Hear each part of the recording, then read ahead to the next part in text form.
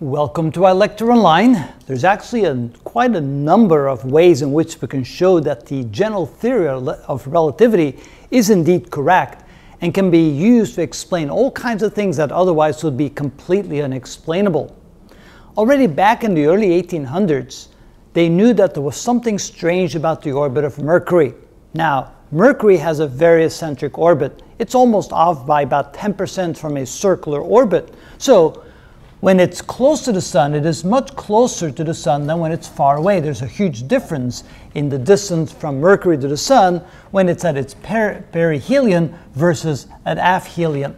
Now, normally you wouldn't expect that to be any reason for strange behavior to the orbit, but we do know that the entire orientation of an orbit of a planet tends to precess around the sun. And the reason for that is because there's all kinds of gravitational interaction between the planet and all the other planets and moons and asteroids in the solar system. Primarily, of course, the big ones, and the biggest one, of course, is Jupiter. So the gravitational attraction between the big planets and any other planet in the solar system causes a gradual shift or rotation of the axis connecting the aphelion to the perihelion of a planet. And it's especially noticeable when the planet is close to the sun and when the, ellipt- when the orbit is very eccentric. And of course, in the case of Mercury, that is the case.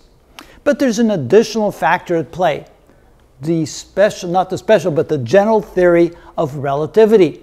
It turns out when they calculated the effect of all the other planets in the solar system on the orbit of Mercury without taking into account at the time, because the general theory of relativity was not yet known in the early 1800s, when they calculated the amount of the shift and then they actually measured the amount of the shift, there was a discrepancy. It turns out that very careful observations showed that the planet Mercury shifted 574 arc seconds every single century. Now, you may say, well, that's not a lot, and that's indeed the case. 574 arc seconds is only about 9.6 arc minutes, which is about one sixth of a degree. Can you imagine that they were able to measure the orbital shift of Mercury to that kind of precision 200 years ago when it's that small of a change in an entire century, but they were able to do that.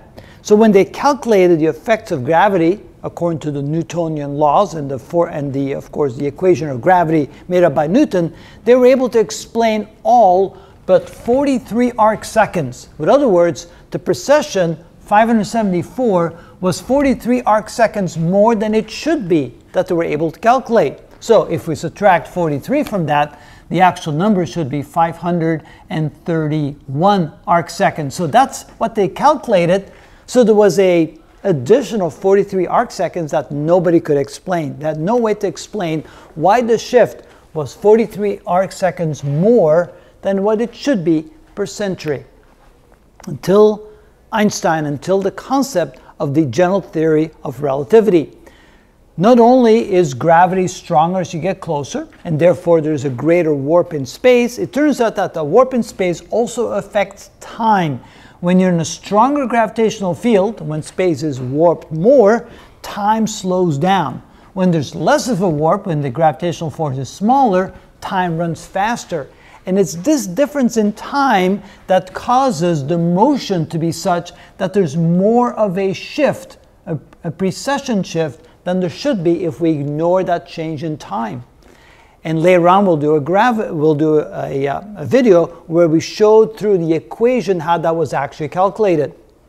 But this was actually measured, calculated, and understood that there was this strange discrepancy that no one could under- that no one could explain.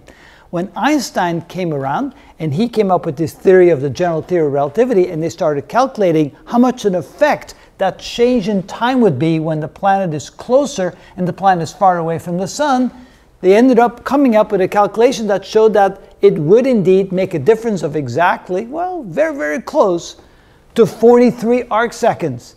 And so there was an exact comparison between the missing 43 seconds, arc seconds, and the ones they calculated when they used a calculation derived from the, the general theory of relativity.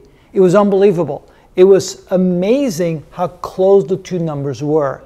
And finally, they were able to explain something they weren't able to explain for almost 100 years. The theory definitely shows that time slows down in a stronger gravitational field, causing the motion of the planet Mercury to precess more than it normally should if we did not take that time differential into account. And the calculated value was almost spot on, the exact missing difference of 43 arc seconds. Imagine what people found and, and, and thought when they saw that amazing correlation. But the most important part of it all is it proved the accuracy of the general theory of relativity. It really did show that there's things that are different that cannot be explained by Newtonian mechanics, that cannot be explained by the equation of gravity as set up by Newton. In these events, where things change when the warp of space is such that time is slower, it does have an effect on the motion of the planet. And that is how it was discovered. Pretty amazing, huh? and there's an equation that actually comes up with those 43 arc seconds. And we'll do a video on that later. Sure you will. All right.